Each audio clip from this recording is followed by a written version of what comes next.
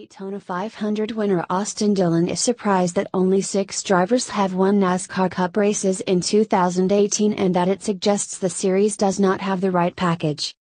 While Dillon won the first race of the season, Kyle Busch, Martin Truex Jr. and Kevin Harvick have dominated the season, taking 12 wins from the 17 races to date.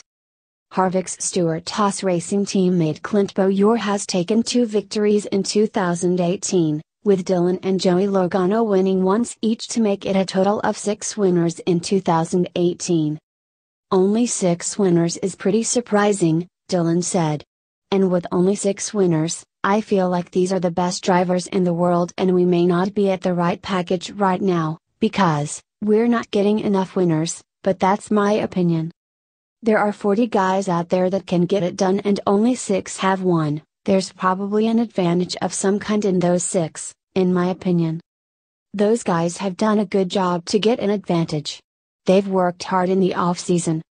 They've put the best cars they can possibly build with great drivers. So, they're doing their job. But obviously, we've got to do a job to get more winners. Only six is kind of tough to see. I think it's a record for NASCAR to only have six winners at this point in the season struggling in the Camaro.